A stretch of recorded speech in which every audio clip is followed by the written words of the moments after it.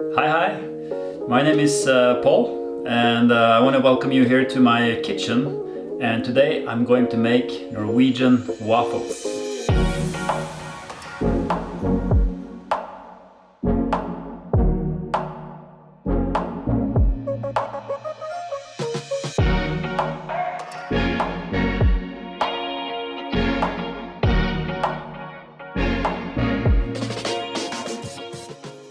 If you've been to Norway before, um, you might have had a Norwegian waffle already, maybe in a cafe with, uh, with a coffee.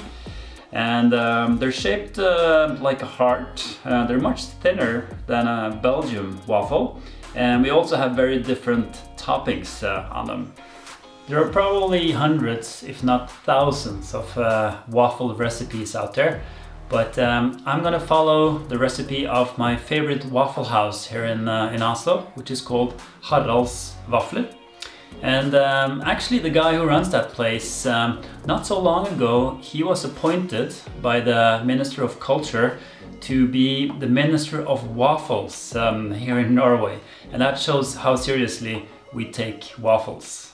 So, to make this recipe, you will need two eggs, 125 grams of sugar, 225 grams of uh, butter, half a tablespoon of salt, half a tablespoon of cinnamon, half a tablespoon of cardamom, a quarter tablespoon of baking powder, 175 grams of an orange pop, 175 grams of water, 525 grams of 1% milk, and 500 grams of wheat flour.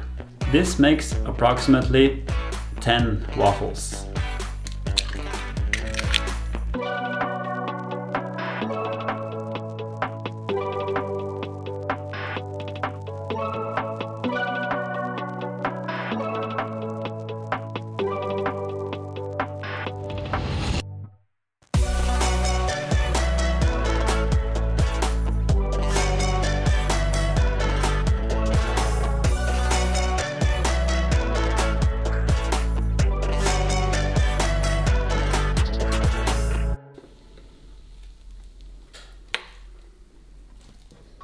The waffles are ready and here comes the best part which is uh, to eat uh, the waffles.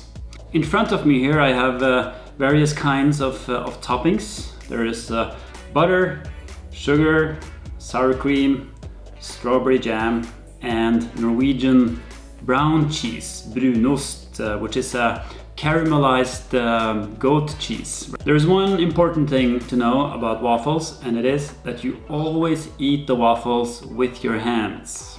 So you grab it like this and then you break them apart. You can see that they're all little hearts.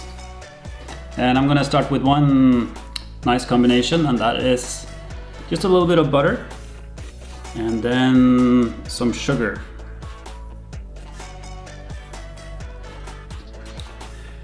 Next one is, uh, I think is one of my favorites. And I'll put a little bit of sour cream. And then I have um, some homemade strawberry jam.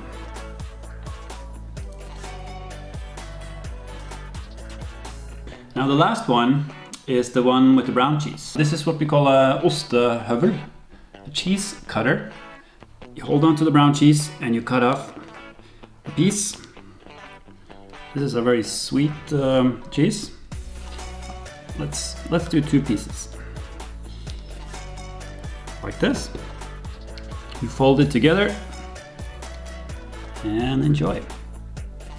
Well, I think I've had my uh, fair share of uh, waffles now for at least uh, a couple of uh, hours. I hope you enjoyed the, the video. If you did, press the like button. And um, what is your favorite uh, waffle topping? Take care and um, I'll see you soon.